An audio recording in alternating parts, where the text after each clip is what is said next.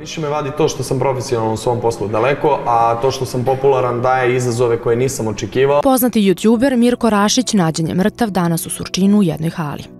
Telo je pronašao njegov kolega. Inače, Mirko Rašić je imao svoj kanal gde je objavivao video o automobilima. Istraga će pokazati da li je reč o samoubistvu. Inače, ovog youtubera koji je bio poznat pod imenom neovlašćeni serviser, na YouTubeu je pratilo preko 143.000 pratilaca, dok ga na društvenoj mreži Instagram prati nešto više od 120.000 korisnika.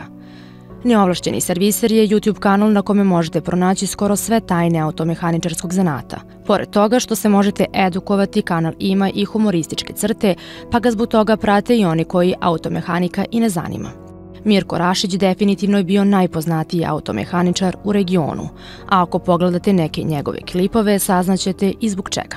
Ova vest je potresla mnoge njegove kolege koji su već počeli da se javno opraštaju od Mirka. Uzrok smrti biće naknadno saopšten nakon što nadležni organi izvrše istragu.